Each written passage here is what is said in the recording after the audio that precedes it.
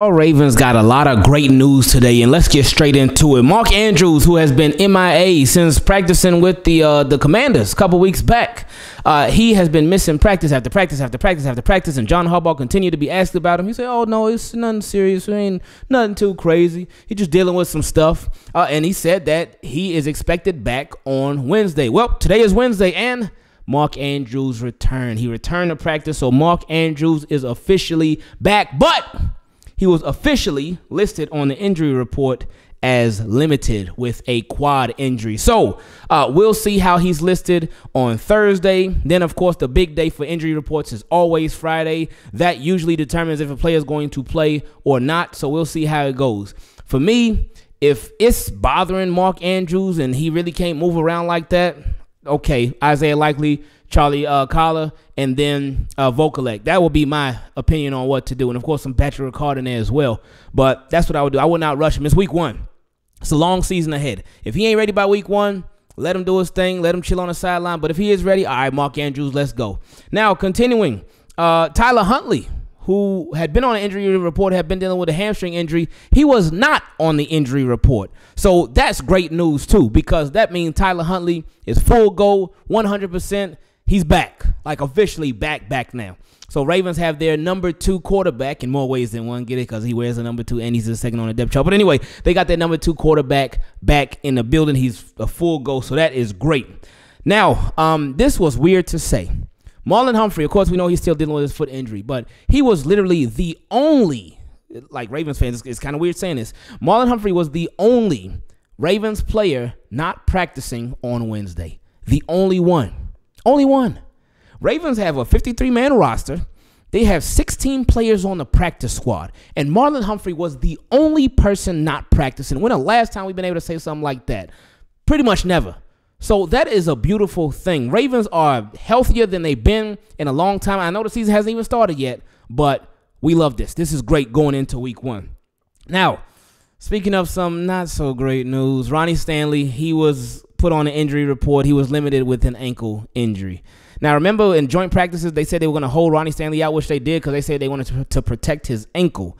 Um, I mean, it worked because he had been practicing like right after the Commanders left. Ronnie Stanley he came through again, but now he's limited with an ankle injury. So again, same thing with Mark Andrews. We'll just wait to see how he's listed on the injury report for the next two days. Now with Texans with the Texans injury report, uh, they will be officially without their starting right tackle, uh, Tytus Howard, because they put him on injury reserve today. So he will miss at least the first four games, and the first game is the Baltimore Ravens. So they will not have their starting right tackle for that game. They're going to have George Fant instead at right tackle.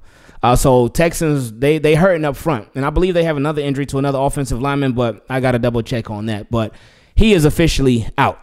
Now, also, some great news, some nice news from somebody who's not a Baltimore Raven anymore, but he used to be, and that is James Proche.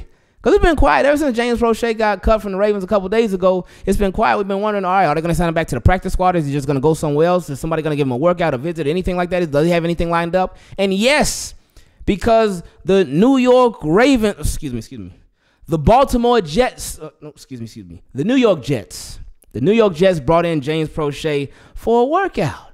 They, they brought in Kenny Golladay too, but James Proche is the one that we want to focus on. So, hey, we'll see what happens. You never know.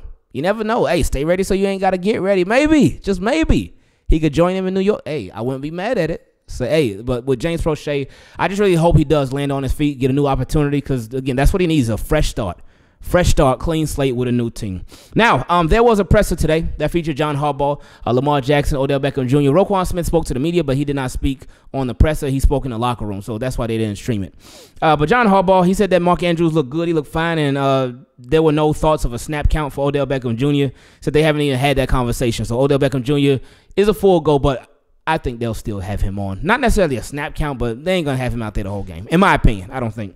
Um, he talked about how OBJ, uh, he's he's a guy that's been around and knows what he's talking about as far as his, his comments on John Harbaugh running a world class organization. You know, John Harbaugh real happy about that one. He's like, yeah, yeah, all these players they hate my conditioning test and they say this and all that about. It. But anyway, he's running a world class organization. Um, and somebody also asked, did you do you see Lamar Jackson passing more and maybe even setting the single season high in passes attempted? Uh, and he said everything just depends on game to game, series to series. Uh, he said he, he could envision the Ravens passing more, but everything is a, a case by case basis, and that's exactly how it should be. So hopefully the Ravens stick to that, make adjustments to that, uh, and don't go into every game like, all right, this is what we're gonna do. If it works, great. If it doesn't work, uh, we're still gonna keep doing it. We're not gonna make any uh, changes. They need to have adjustments ready, so that's gonna be very important. Now, Lamar, he asked, uh, he was asked, what was he anticipating the most going into week one, going into the season? Uh, he said he's looking forward to actually going against another team. Uh, he was also asked uh, how comfortable he feels in this new offense, and he said just the explosiveness of it and getting the ball out of his hands faster, and that's so important because if you can get the ball out of Lamar Jackson's hands faster, that can slow down the defense. So if he is holding on to the ball for a while, waiting for somebody to come open, waiting for a play to develop down the field, he'll have even more time to do so because the defense may be used to him getting the ball out so fast that they may slow down a bit on rushing him. So that's a beautiful thing. Um, he was asked if is there a level of trust that you have in the coordinator and, and the trust that he has in you to where you may call some plays, and he said, yeah, for sure. Uh, and how pleased are you with everything, how everything came together as far as the contract, EDC getting new players, EDC keeping players? And he said his vision is just hoping to be playing in February. But he did say EDC did a good job of building on both offense and defense. He commended OBJ, said with Odell Beckham Jr., it's not just his speed that everybody's in awe of, but it's his route running as well. Uh, he was asked this question. He, I remember he was asked this question a couple years ago. Now, he said Devin Duvernay, but this year he was asked the question: Who's somebody under the radar who's primed to break out? And he said that Lamar said he's going to try to keep that person who he's thinking of under the radar. So you want to keep him right where they at. Uh, and then he was asked, "It's been a while since you've been on the field. Do you anticipate feeling any differently for this game, or are you anxious at all?" And Lamar said he is a little bit anxious, uh, but coach said not to peak too soon. I'm just pumped. I haven't played since like November, December, and that's a long time. I'm just ready to get back out on the field. Uh, and somebody asked him like they, they they asked him, "Oh, do you ever watch the play where you got hurt?" He said, "Yeah, I saw it, but I don't want to watch it." You know, what I was thinking, what kind of question is it? Anyway, uh, Odell Beckham Jr. also spoke to the media. Uh, he said that it's, it's been a long time, and he's just excited to get back on that football field again. Um, and somebody asked him what stands out about the team and how John Harbaugh runs things, and what stands out to you. Uh, and he said it's just really the little things that they focus on. He's because he said they'll focus on something small in practice, but then it'll come up in the game, and then or it, it, should come up in the game, and then they'll know exactly. All right, this is exactly what we should do in this situation. So just being prepared. Uh, he said that this this going into this game, it feels like it's his first game because uh, he said it feels like it's just been a reset for him. It almost feels like his rookie year because, of course, remember he didn't play last year. The game that he loved, it was taken away from him with injury last year, the whole season last year. Not even a part of it, but the whole thing was taken away. So that's a big blow. So for him to be back, this is a huge step uh, moving forward for him. Uh, now this question, he asked. Uh, oh, he did talk about how we all follow eight. We all follow Lamar Jackson. We go as he goes. Um, he talked about the goal is to score points, and he said he doesn't put certain expectations out there. And Odell Beckham Jr. has been very consistent when people have asked him expectation questions. He has shut every single last one of them down. Said I don't put expectations out there, so he continued that in this presser. Now this question: Have you ever played with a wide receiver group this good?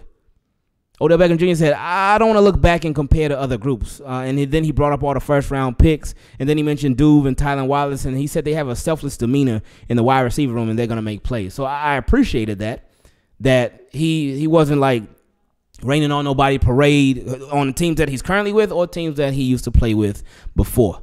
Uh, he showed respect to everybody. He didn't want to throw anybody under the bus. Um, he also was asked, how much is their motivation to be the same wide receiver that you used to be? That Odell Beckham of old that we know. And he said, that's just how I carry myself. Uh, he was also asked about his relationship with Rashod Bateman. Do you give him any words wisdom, anything like that? And he said, yeah. He talks to him. He, he said he never likes to put anybody business out there, but there have been conversations where they just talk about getting right, keeping their minds right and whatnot. And he said that there's going to be times where, yeah, Rashod Bateman will need him, but he's going to need Rashod Bateman as well so they can lean on each other with that. So that's important. And, and, and when you hear Odell Beckham Jr. speak, especially now, he's a seasoned veteran and been around, have all the experience in the world. Uh, you can hear that leadership in his voice. You can see that leadership with the tone of his voice, his body language. You you can just see it. Uh, he's much different than he used to be before. Not that he wasn't a leader before, but you see, he's just a lot more mature, a lot more grown now. He's just looking at things, speaking differently, a lot more calm and whatnot. He's still gonna have his fun now. Cause, cause wait, wait, wait till Sunday. You, you gonna see Odell doing his thing. But I, I just I, I, appreciate that he is a Baltimore Raven. Ravens could have went a lot of different ways at the wide receiver position this offseason, but they chose Odell Beckham Jr. and they stuck with him. They had been watching him for a long time, talking to him for a long time, and they followed through and they closed the deal with Odell Beckham Jr. So uh, I, am just excited for the season. I hope it really, really works out. It should, as long as everybody stays healthy. That's the, the name of the game, as y'all already know. Um, but team, keep it clean. I appreciate y'all. I love y'all. Uh, we are all updated. We haven't heard about Ravens making any moves yet, but when they do, we'll of course let y'all know. I love you. Make sure you subscribe so you don't miss not one single update, so you don't miss any news that comes out with the Baltimore Ravens. We got some big channel updates very, very soon. Uh, probably over the next couple of days, we're gonna drop those so y'all will know we got a lot going on, good stuff, and one little bad thing. But I'll let y'all know about that over the next couple of days. Make sure you subscribe, turn your notifications on so you don't not miss not one single video. Leave a like on the video too. I appreciate you, team. Keep it clean. We out.